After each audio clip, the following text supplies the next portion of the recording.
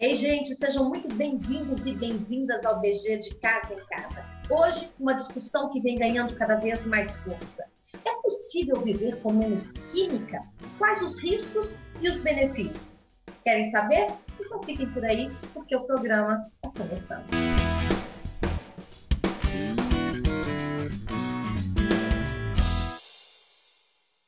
Seja na alimentação, nos cosméticos, no vestuário, nos medicamentos e na limpeza. A química está presente no nosso dia a dia e a gente nem percebe, desde a hora que acordamos até a hora de dormir. Há inúmeros benefícios, mas também muitos riscos, principalmente para a nossa saúde e para o meio ambiente. Como dosar o uso da química? E quais as alternativas saudáveis para a gente consumir com mais consciência. Para essa conversa, nós convidamos o médico nutrólogo Sérgio Marcucci e o professor da UFMG e geneticista Vasco Azevedo. Sejam bem-vindos. Doutor Marcucci, a química hoje em dia tem sido vista como a vilã, mas ela tem um papel muito importante também nas nossas vidas, né? É, qual que é essa relação entre a química e os alimentos em geral, por exemplo? É, desde 1949, nós começamos a introduzir substâncias para atuarem como inibidores do crescimento de fungos, bactérias, vírus, para aumentar o tempo de prateleira dos, dos, alimentos. Se não fosse assim, não seria possível alimentar a, a, a população mundial. Então, na verdade, o alimento ele tem a sua própria química e o que que se é, introduz no alimento são substâncias para inibir o crescimento de patógenos que vão deteriorar os alimentos. Como você mesmo disse, a grande questão é o equilíbrio. Esses, esses é, conservantes, edulcorantes, acidulantes, tudo isso que é usado na química dos alimentos industrializados, tem dosagens corretas e são fiscalizados pelos órgãos é, responsáveis, no caso do Brasil, o Ministério da Agricultura.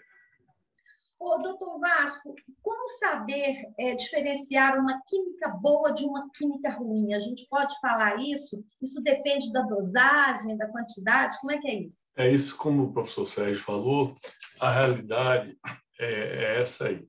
Tudo em excesso. Então, a gente tem que sempre o brinco, que é procurar o caminho do meio. Tá? Então, é, nem ir para a direita nem para a esquerda. Tudo em excesso. Então, hoje, realmente todas as empresas, o MAPA, a Anvisa, etc., né? nós estamos aí evidenciando isso, eles sabem dos problemas de uma quantidade segura para isso. Tá? Então, o grande problema é educacional também dos agricultores, por exemplo, de colocar a quantidade correta, de dissolver o produto. Então, existe cada dia mais uma profissionalização do campo e, com isso, a gente leva a, um, a uma uma, usar a quantidade correta. Mas, como o professor Sérgio falou, é problemático isso. Realmente, o ideal era não ter nada. Mas nós não conseguimos produzir quantidade de alimentos sem colocar os defensivos agrícolas, como a gente chama disso. Doutor Marcos, no início, o senhor citou aí a, a, a importância da química para a conservação dos alimentos. Eu queria que você falasse mais um pouquinho sobre isso, porque às vezes ela é fundamental para isso, né?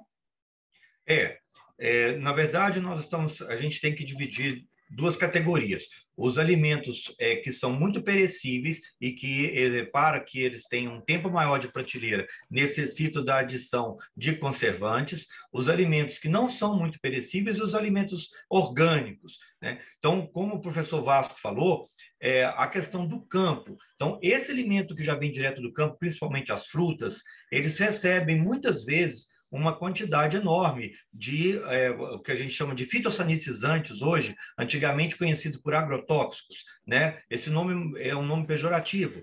Esses fitossanitizantes, eles são responsáveis por o Brasil, por exemplo, ser um dos principais produtores e, e exportadores de fruta para a China.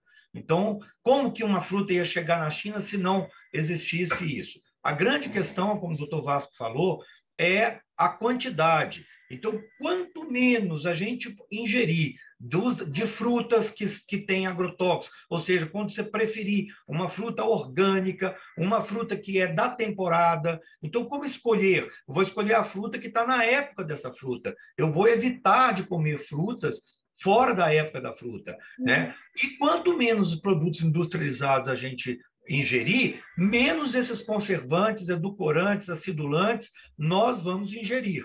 O que está acontecendo hoje, como o doutor Vasco falou, é um desequilíbrio. As pessoas buscam por uma vida mais prática, uma vida mais corrida, e aí acabam ingerindo uma quantidade muito grande, mesmo que em quantidade permitida, mas como ela só ingere produto industrializado. E aí ela vai criar um problema muito grande para ela, que é uma desbiose intestinal, que é uma coisa que quase ninguém se é, tem consciência do que está acontecendo. E quais são as consequências dessa desbiose? A nossa flora intestinal ela é responsável pela produção de boa parte de ácidos orgânicos que mantém o pH do nosso sangue, que mantém o nosso colesterol, que mantém o nosso metabolismo, que mantém a nossa resistência à insulina e a produção de boa parte dos neurotransmissores. Então a gente tem 70% da nossa dopamina é produzido no intestino. A dopamina é o neurotransmissor do prazer. Se você não tem esse neurotransmissor produzido dentro do seu intestino, você vai buscar prazer no alimento ou em outras drogas ilícitas. E isso aí vai interferir com a sua saúde. 90% da nossa serotonina é produzido no nosso intestino. E se você não tem serotonina, você fica depressivo. Aí você vai em um psiquiatra, ele vai te prescrever um antidepressivo. Então, tudo isso está relacionado com o nosso intestino. Tem um livro muito interessante que chama 10% Humano, que diz que 90% de nós só é bactéria e 10% apenas que são células. E essas células são regidas por, por esses transmissores, por esses sinalizadores produzidos no nosso intestino. Por isso que muitas vezes a gente fala, não mexe com fulano que ele está enfesado, ele está cheio de fezes. Então, esses agrotóxicos, essas substâncias, elas vão interferir com a sua flora intestinal e interferindo, então, com a sua saúde. E a gente convidou a chefe de cozinha, Regina Riente, para contar para a gente como ela prepara os alimentos dela com nutrientes e sem agrotóxicos. A gente pode fazer uma alimentação muito saudável reduzindo-se o máximo possível de produtos químicos. Por exemplo, os orgânicos. Hoje a gente já tem uma gama de produtos orgânicos super bacana no mercado. É só a gente saber onde, onde comprar, procedência deles e aí já está uma dica legal. Outra coisa, evitar os produtos químicos, os enlatados.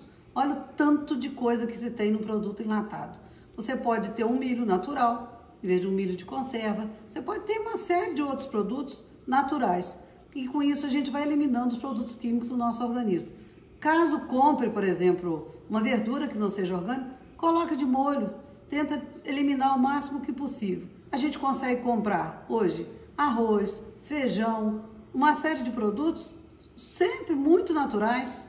Coloque as castanhas na sua alimentação. Prepare para as crianças os hambúrgueres em casa, os nuggets em casa, é que eu faço sempre. Como? Sem colocação de aditivo químico, conservantes, pães Gente, é bom demais fazer pão. Pão natural é uma brincadeira, sem conservante, sem aditivo de prolongar tempo. A minha proposta de vida é isso: eliminar o máximo possível os aditivos químicos dos alimentos, produzir o máximo possível na minha casa. Aproveita aí que ainda estão em home office algumas pessoas, prepare os seus alimentos dos seus filhos, até dos cachorros. Hoje a gente está fazendo em casa produtos para os animais também. Então é isso, gente. Vida saudável colorida, prato colorido, bonito, sem aditivo químico, você vai ficar muito mais feliz, mais, muito mais bem disposto, tudo vai ficar muito bom.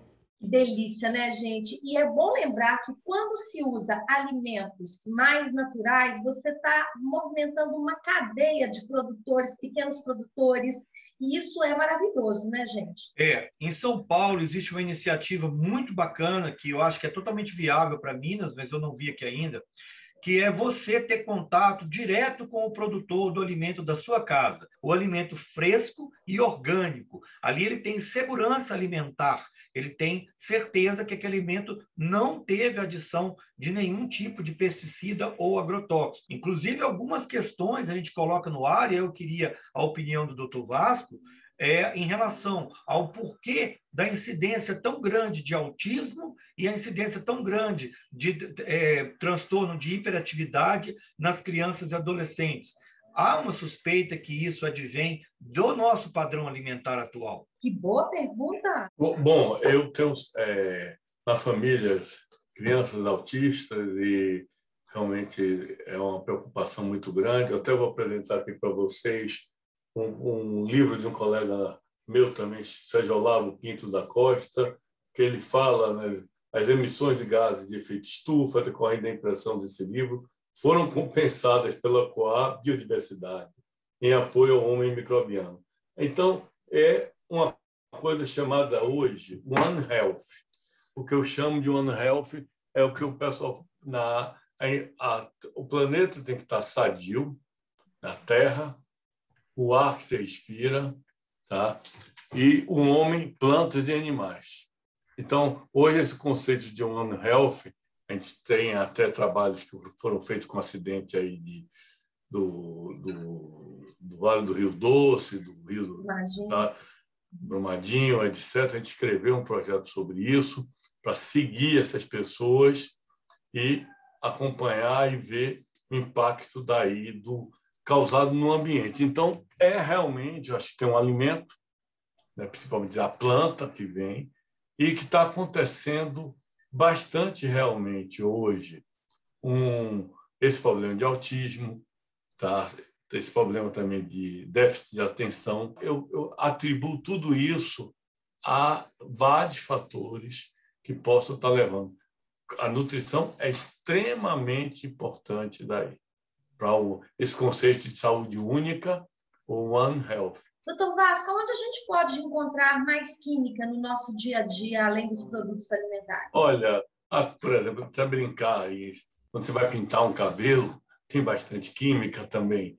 Então, o que acontece? As mulheres grávidas estão evitando. Está até uma moda aí de, de voltar a não pintar os cabelos. Né? Está tendo essa moda nesse ano aí de não pintar os cabelos. Como o meu, também não estou pintando o meu. Brincadeira. Mas, olha, tem praticamente, como eu falei, é, tudo tem química. Mas não vamos colocar a química como vilão. É isso que eu quero. Assim, a gente tem que estar alerta a isso. Mas não podemos colocar, porque a mesma química é que cura o câncer, como a quimioterapia. Agora, nós aprendemos muito com nossos erros. Então, hoje em dia, as empresas todas estão muito ligadas a isso. Imagine o caso da talidomida. Né? Uhum. Talidomida foi um desastre e ocorreu talidomida, caso de talidomida em Ouro Preto, por exemplo, porque o medicamento talidomida estava sendo usado é para lepra, o controle da hanseníase. O que aconteceu com isso? Tinha uma foto de um bebê com um X. A falta de informação, o pessoal estava achando que era para evitar a gravidez. Então, gente, vocês estão vendo que a química não está apenas nos alimentos, a gente vai continuar falando sobre isso no próximo bloco. É já já.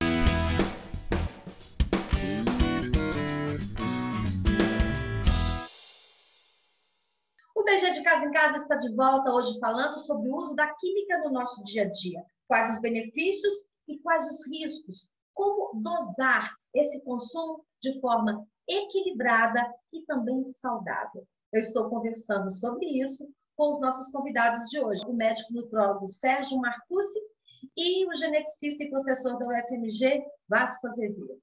Gente, uma curiosidade que eu queria muito que vocês esclarecessem aqui para a gente. Na hora que a gente vai cozinhar, a panela influencia, ela pode soltar química no alimento? Isso existe?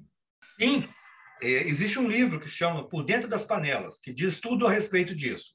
É, vamos ao mais corriqueiro, a panela de alumínio. Alumínio é um metal pesado, principal responsável pela doença de Alzheimer.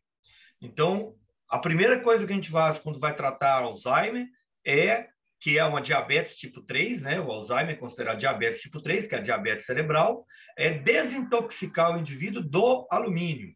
E, e por que, que nós estamos sofrendo uma uma epidemia de Alzheimer por causa do, da, da nossa prática de usar a panela de alumínio.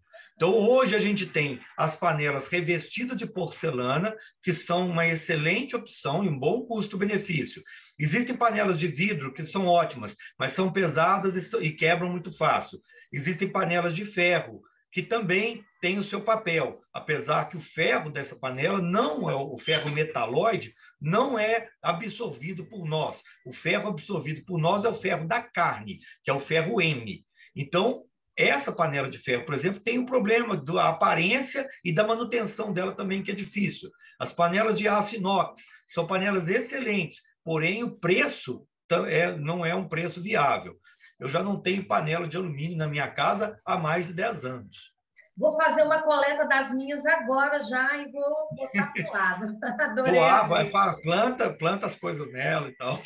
Tem química na água, tem química no vinagre, tem química inclusive no álcool que a gente está precisando usar o tempo todo, né? Hoje nós sabemos, estamos eliminando, por exemplo, tinha produtos que tinha chumbo, mercúrio, etc. Então, tudo isso hoje, quando você está pensando em um produto, já existe essa educação. E a rotulagem é extremamente importante. Hum. Então, a gente tem que, para mim, aprender a ler rótulos. Né? Mas o excesso de medicamento também, que hoje, como o professor Sérgio falou, é um grande problema, até chamar para vocês isso, que se levou a, também a medicina moderna a pensar, a ocidental, a pensar no homem por parte, cabeça, tronco, membro, intestino, etc. Nós somos um só. Então, tem uma tendência de volta de medicina de família, de, é, por exemplo, a medicina pública na França é assim: você só vai no especialista depois de passar por um bom clínico geral. Você tratar uma criança dessa maneira, será que se a gente tivesse calma e tranquilidade e tratássemos com alimentos, com um trabalho a longo prazo, não evitaríamos estar ministrando medicamentos da, da, das grandes, de grandes grupos empresariais farmacêuticos. Essa questão que você levantou é maravilhosa, professor. E, e eu queria até que o doutor Sérgio complementasse, falando sobre isso mesmo. Assim, essa quantidade de medicamentos que hoje em dia as pessoas tomam, qual é a interação que isso pode ter, o risco que isso pode ter na nossa saúde, porque tudo é química, né? É. O doutor Vasco foi perfeito, né? A, a visão da medicina integrativa, ela integra o corpo como se fosse um líquido só. Hoje, prevenção é tratar o terreno biológico. Então, quanto menos eu tiver metais pesados no meu corpo, alumínio, cádmio, mercúrio, chumbo, tudo isso está presente na água, no esgoto, no banho, na nossa alimentação, né? Assim, em medicamentos. Quanto menos eu ingerir os xenobióticos, xeno estrangeiro, bióticos, coisas estranhas à minha, à minha biologia. Isso vai, o, o fígado ele vai ter que se haver com isso. Você in, in, ingere um, um medicamento, o fígado vai ter que metabolizar isso. E esse metabolismo tem um preço. Ele vai cobrar esse preço do seu corpo. Então, esse, tudo isso vai intoxicar intoxicando as nossas células, intoxicando esse grande líquido que é o nosso corpo. E o tratamento é, hoje, a maior batalha nossa é vencer isso, retirar essas químicas do corpo da pessoa. Mas, obviamente, como o doutor Vasco pontuou, o equilíbrio é tudo. Eu tenho que pensar, quando eu tenho uma doença, é dessa doença para trás, como eu cheguei nessa doença. O que eu fiz na minha vida me trouxe aqui com esse problema. Então, se eu não mudar esse caminho, eu não vou conseguir resolver o problema no futuro, mesmo que eu trate essa doença momentaneamente. É essa é a visão nova que a gente tem que tratar e evitar segmentar o corpo. Eu tenho que mudar, porque senão não vou ficar livre nunca dessa medicação que está me dando conforto nesse momento. Então, que seu alimento seja o seu remédio. Hipócrates, né? pai da medicina. Olha um exemplo maravilhoso da Juliana. Ela, na pandemia, começou a adotar um outro estilo de vida. Depois da pandemia, a gente se viu um pouco confinado dentro da cidade, a gente sentiu essa necessidade né, de, de fazer esse movimento. E isso mudou, de alguma forma, drasticamente todas as nossas relações, porque a gente não questionava muito é, a alimentação, né? A gente não questionava muito essas, do que, do como limpar a casa, do, daquilo que a gente passava no nosso corpo, enfim. né, de, de tentar buscar uma vida com menos interferência é, química em si e com menos toxicidade de uma forma geral, né? Pessoas também, enfim, relações. E é super possível sim, a gente tem conseguido fazer uma transição muito legal, né? Achar produtos de produtores locais, enfim. Nós éramos muito urbanoides, a gente vivia e não, não era uma possibilidade na nossa vida, a gente nunca tinha pensado nisso, mas a gente está adorando, é, a gente está topando essa proposta né, de questionar esse sistema, que contaram para a gente que está certo, mas de uma certa forma a gente só precisa entender que é possível viver uma vida com menos química, uma vida com menos tóxica e estar tá mais presente na natureza, né, nessa troca dinâmica que a gente tem com, com o meio ambiente. É isso. Ô, gente, isso que a Juliana falou é uma questão de estilo de vida, né? Que é o ideal da gente adotar, não é isso? É, o mundo perfeito é para o ser humano perfeito. Como somos imperfeitos, a gente faz o mundo do jeito que dá. Então, nem sempre a química é ruim. O que nós temos que lidar é com a terapia do menor dano, ou seja, a melhor química, o menor prejuízo, o que eu puder fazer de menor para que não sofra tantas consequências, eu opto, e não por fazer o mais fácil. Eu acho que essa é a grande lição. Não adianta a gente ir pelo lado utópico. A vida é essa que está aí, por exemplo. É... O caso, vou dar um exemplo, está aí. É, nós precisamos nos educar a não seguir pelo caminho mais fácil. Por exemplo, a redução de estômago.